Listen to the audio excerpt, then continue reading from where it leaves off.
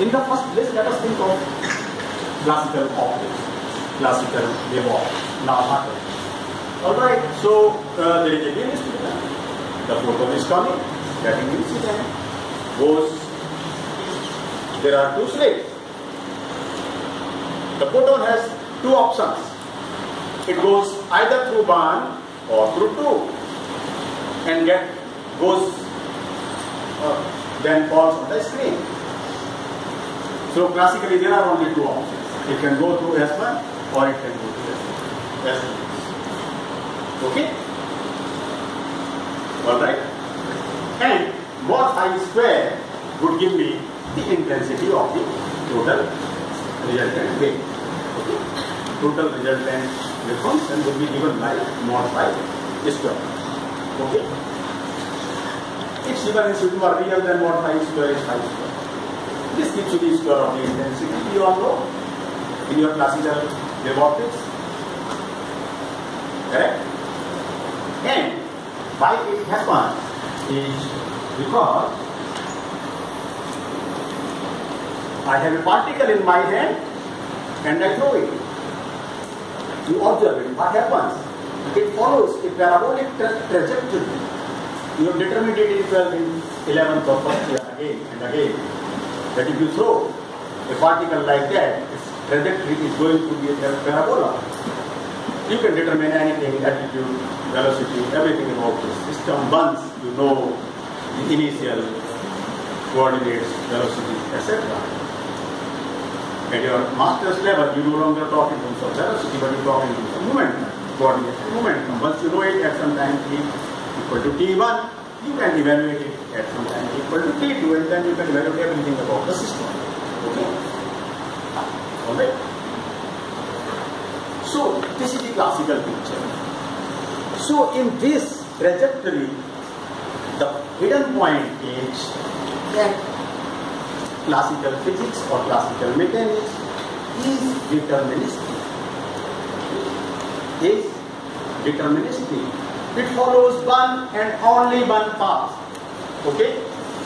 I start from my home, start walking to the physics department of the university and I end up in DSK hall. Okay? I just follow one particular trajectory, one particular path. I am not passing through Patel Chest as well as Maurice Nagar both at the same time. I can pass through one of them. Either this or that. Not both at the same time. However, quantum mechanically, I could do that. I could pass through Patel Chest as well as Maurice Nagar both at the same time. So if I consider this example quantum mechanically, the single photon that is coming through the beam splitter via 1 and 2 or through two slits S1 and S2. It could go through via S1, it could go through via S2 or it go through both of them at the same time. This was impossible in classical physics. This was not possible. Correct? Although there also we had a superposition of the wave functions or the waves or here also we have. But then there is a difference. So classical physics was deterministic.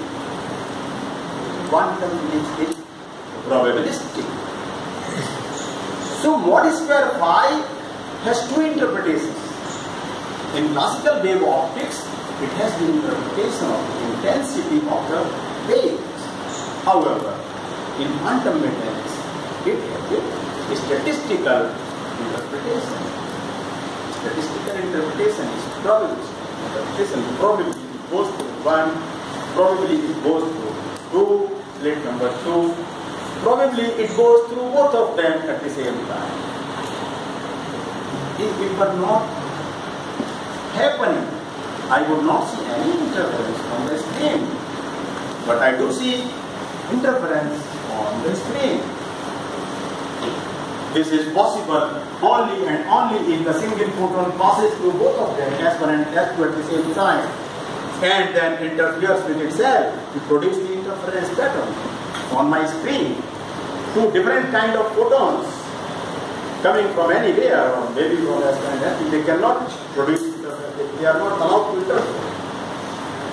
They are different species. It is a single photon. If it goes through both these rays, can interfere and can produce interference. Is that clear? Yes? And we get this through the superposition principle through this very simple algebra that we derived we first define these three different physical systems represented by psi 1, psi 2 and psi.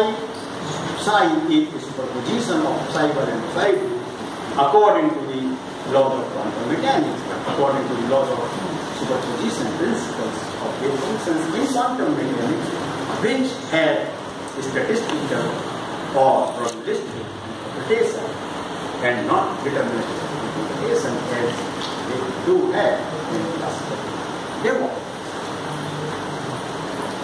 Alright?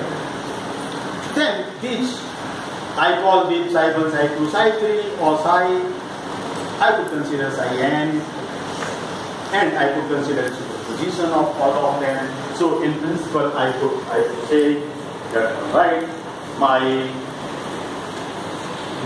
this could be and about the job. So this is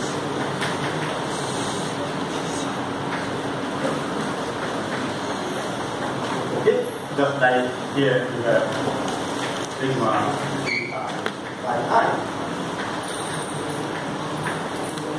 So, no problem with this superposition, but interpretation.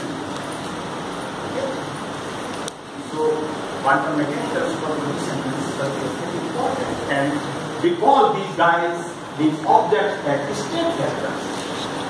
And these state vectors are fundamental in quantum mechanics. They are as fundamental as the Lagrange. Okay? I, I can construct some wave functions out of, let me say, if I have here state alpha, if I have f prime, this I will have alpha prime, if I have p prime, if I have beta here, this I would have,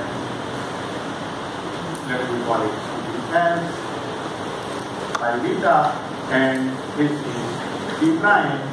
So I will I will come to explain these things a little bit later. It takes me another couple of minutes. Uh, but to define that this is my wave function in the coordinate space or in the multiplication space, and this is my wave function in the momentum space. You might now start thinking yes, below something like that. Then you can go from one to the other to transpose. You must have done that somewhere in the uh, the function from relation space or a function momentum space and converting one to the other through the Fourier transform. Correct? Done somewhere? Yes no?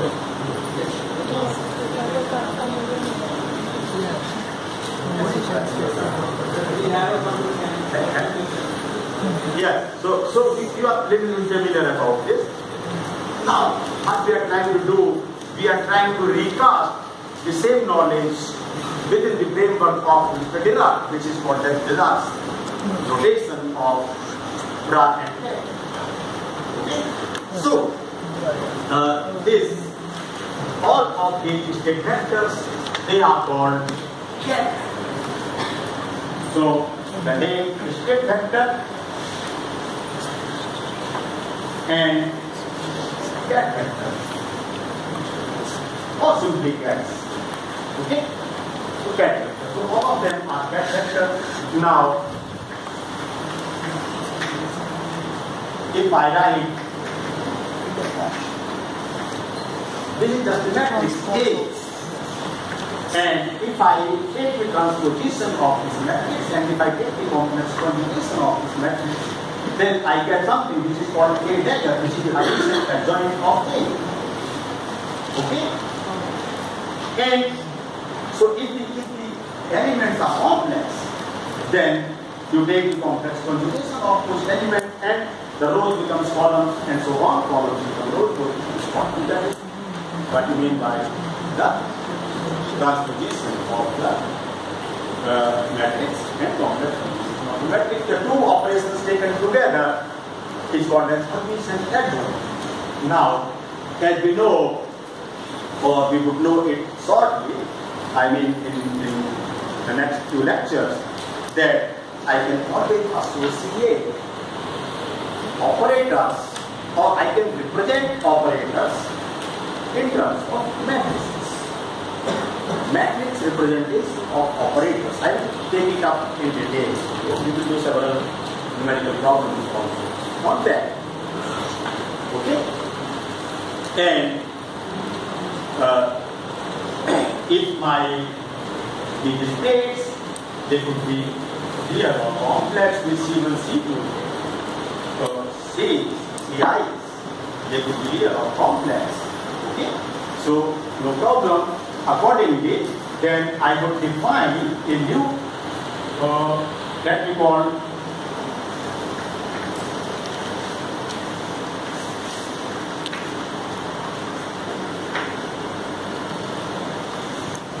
So, Hermitian adjoint of psi vector, which is a ket vector, is defined to be a graph.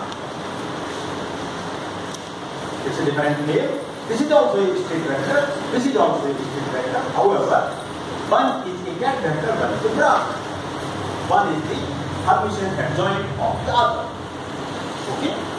So this is a new nomenclature. Let me let me remove some of these things here to make space and I think we no longer need this. So I would create this.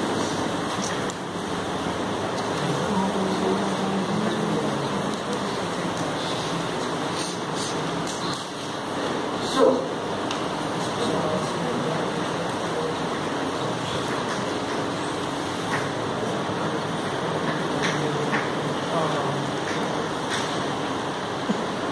Okay. So what happens if I have C phi and if I take its Hermitian, that one it becomes phi and C that. Okay. So supposing my psi is a column, okay, then my psi would be a group. Correct? Of course, with the complex conjugations of the okay. So, a column vector, a ket vector, if you ket vector is a column vector, then it is a row vector. Alright? And I can easily take the product of the two. So, supposing it is uh, 1 plus i or 1 minus i, then it would be 1 plus i, 1 plus iota, and no, this one minus, minus and 1 Okay? So, this is the column and this is the row, and you can take the product, and this product is called as a scalar product scalar. This has very special importance in quantum mechanics, and you can multiply the two and it will come out to a number. Okay. So scalar product A dot B is just analogous to your two-dimensional Euclidean space or three-dimensional Euclidean space that you do in your first year vector calculus. Okay. What is A dot B? A B cos theta. It's a number. Okay. All right. So such products, product of a product that be. This is the notation introduced by none other than Mr. Paul Maurice Dirac, one of the legendary of century. Okay? Uh, I, I narrowly escaped meeting him once I was in Trieste, in Italy, and he was supposed to uh, go to South Italy via this place called International Center for Theoretical Physics. Have Salam there. I was a visitor there for a couple of months, and he was a good friend of Salam. So he was going to southern Italy, and he was supposed to pass through ICTP in Trieste, so all the activities were stopped for uh, for him, so that when he comes, he would give him a grand reception, plus informal chat with everybody wanted to shake hands with him. But for some bad weather or some bad health or something, uh, he played, he's playing, or he got his plane diverted directly to southern Italy and he escaped uh, landing in Trieste. And I missed the lifetime opportunity of meeting him. So I never met him, and he happens to be my my idol of physics. Okay. Uh, the most important physicist of the century without him entire would collapse. Okay? So, uh, this particular notation is named after Pratt notation and it's so convenient. You will see, oh, entire quantum mechanics that you did in terms of the wave function approach is now so trivial, my God. It's so trivial the algebra becomes simplified, everything becomes simplified, the, the physical meaning comes out so transparently. That is the beauty of it. Otherwise, why would you go into the abstract formulation if you simple formulation of something? Why would you why would you like to, to land into troubles? Eh? Okay? You land into troubles because you, you want to for a wider perspective. You want to learn many more things. Right? You want to learn many more things. And for that reason, you invent some initially looking complicated things, but later on they simplify your life. Okay? Correct? So, so that, that's, the, that's the point.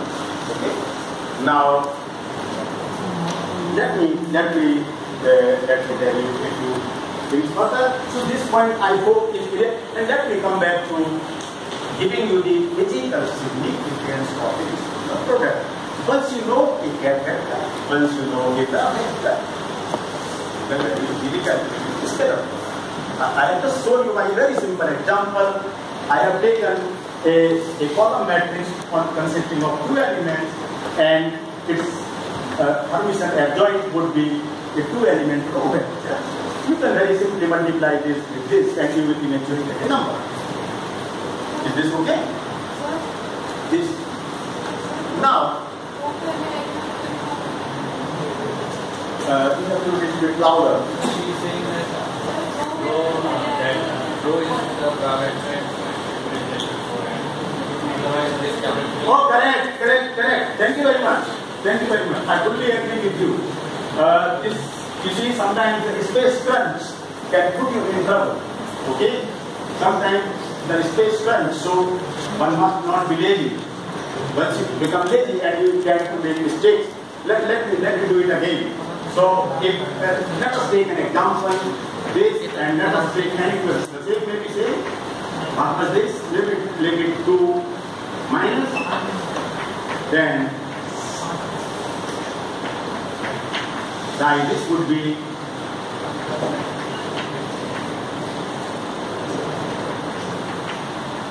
okay.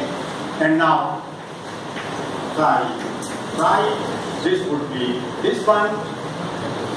And multiplied by this one. So what is this? Let us find out this this this is 1 minus iota times 1 plus iota plus this this 2 plus iota into 2 minus iota and what is this going to be then? Again it's discussed. 1 minus this 1 plus this will be 1 square minus i square plus 2 square uh, minus i square is that correct? Or not? Yes, sir. So 1 square plus 2 square is, this is 4 plus 1, 5. And this is plus 1. And this is plus 1. This is 7. But you can work it out if I have made mistakes. Okay, let's not uh, spend too much time on that. But this is how you can do it. So it's a number. Okay, you are very correct. This, this has to come to this side. Okay, and this guy has to come to this side. You, you make the wrong placement, then may or may not be defined. All right. So, thank you very much. Is this okay with everybody now? Very good. So you get some examples. You could take it a, a long co uh, column vector and a uh, accordingly will have a row vector, multiply this and so on. Okay. All right. Okay. Very good. So now, for example, if this is correct, that it is seven, then it's positive definite.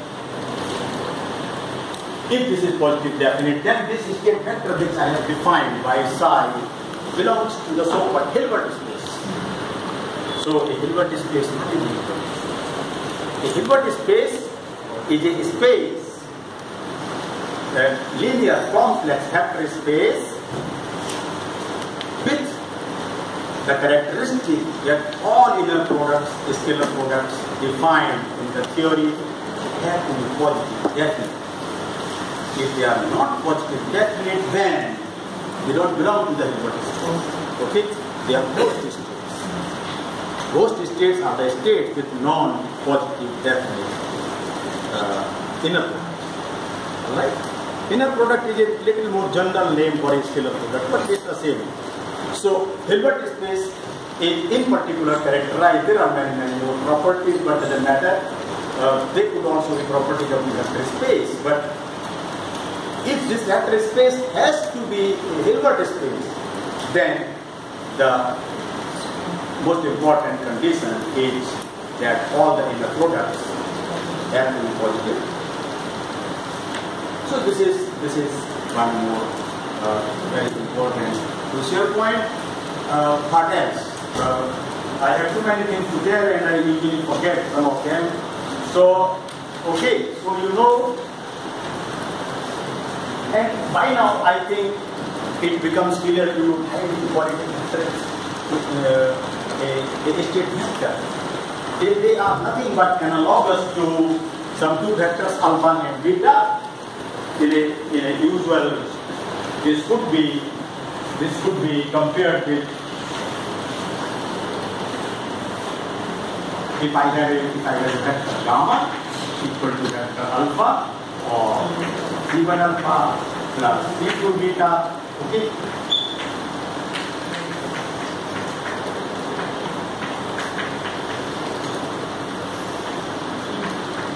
if I consider two-dimensional Euclidean space, linear vector space, with the vectors alpha and beta, so in a two-dimensional Euclidean space, alpha and beta are the fundamental vectors, and gamma is the vector sum of the alpha and beta. Alright? Here, I mean, on the same analogy, uh, this vector state gamma is a state vector in some c times c1 times a vector alpha plus c2 times beta. So now uh, you, you, you can find, take this analogy, how you call it, state vector. But the state vector is more general than a ket vector. Both of them are state vectors. Okay? And a ket vector represents the physical state of the system. And bra vector, its bra vector is its mirror image. So it's the Hermitian adjoint of the vector. Okay? And then you could, do many, many things with these things. And then you could start realizing that when I, when I have such a thing, that this is nothing but a product of x prime state and alpha, which then eventually becomes a diff function. So I suppose, and sorry, when I come closer to this, it can, it can, can be uh, uh, right? So, and here, as you know, all those considerations would hold true here in the probabilistic interpretation of this uh, this uh, mod square of psi would be uh, times dqx would be the probability of finding a particle within the volume Okay. If it's a one-dimensional system, then one of psi square into dx the probability of finding the particle in the range x and x plus dx. So all those things they would hold true. Your entire machinery, all concepts of quantum mechanics that you have learned prior to your master's course they would continue to hold true. Nothing would be violated. Everything would be a subset of our present consideration. So this is a bigger set of ideas, concepts and mathematical machinery and whatever we have learned prior to this would be a subset of what we are doing now. Okay? There would be perfect consistency. There would be no inconsistency. There would be no violations of any kind. Is that okay? Is that fine? Yes. So uh, gradually it comes to uh, quarter past uh, one and you people will be getting hungry. Sitting here since 9 o'clock. So I can call it a day, I can conclude my talk and I extend my thanks to all of you for being with me for this time and for hearing also my lecture. Please, that's my humble request. You see, uh, if the thing is really uh, in such kind of nature that you need to explain or uh, to point out, the, sometimes it's easier you just come here on the board uh, pick up a job, I will not mind that, okay? And say, oh, sir, you made a slip. This side one side two, here one and two needs to be interchanged. This will be fine, okay? Uh, instead of a long discussion and I, you are addressing something different, I am trying to understand something different, and it can unnecessarily waste our time and can sometimes divert me from my, from my nice flow of conversation. That's. Okay, but I welcome all your questions. You can can, you can ask any, any not a problem. Any answer. Doesn't matter. Okay? So, thank you once again. Thank you very much. Oh, books, books, books, books. Uh, Modern Quantum Mechanics by J.J. Sakurai. My very favorite book, J.J. Sakurai, Modern Quantum Mechanics. Uh, also, uh, uh, there is one book uh, on quantum mechanics by Sedley and Sedley, Z-E-D-D-I-S-L-Y. And there is yet another book, S.N. Biswas, Quantum Mechanics by. Biswas. He was my teacher in this department, one of the great. Okay, a book on classical mechanics and quantum mechanics. Irrespective of which teacher is teaching you, you must read these two books for this subject because he taught these things quite in this department and he was one of the great teachers and great physicians. So these three books you do Maswai Kanurji, Max Becker, Max Barker, Garcia, see plenty, almost more than 20 books written by almost no variant uh, of theoretical physics. I mean, these were these, they have been the founding fathers of theoretical physics. So, but these three books should do. Uh, but on the top of all these, books, you have to remember Mr. DSK. And then you can understand what I mean. So, all the best.